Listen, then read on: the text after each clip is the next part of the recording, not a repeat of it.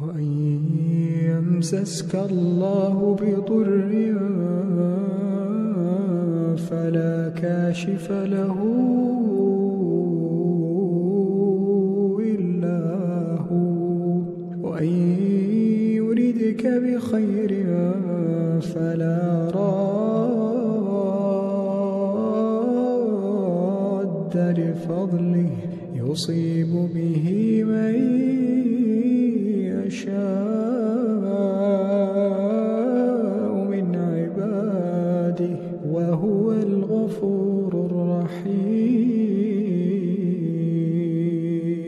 قل يا أيها الناس قد جاءكم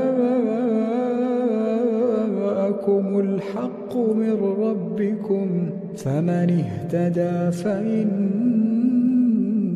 فإنما يهتدي لنفسه وما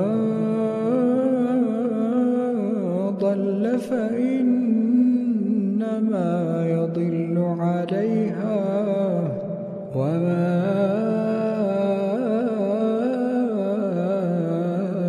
أنا عليكم بوكيل. واتبع ما يوحى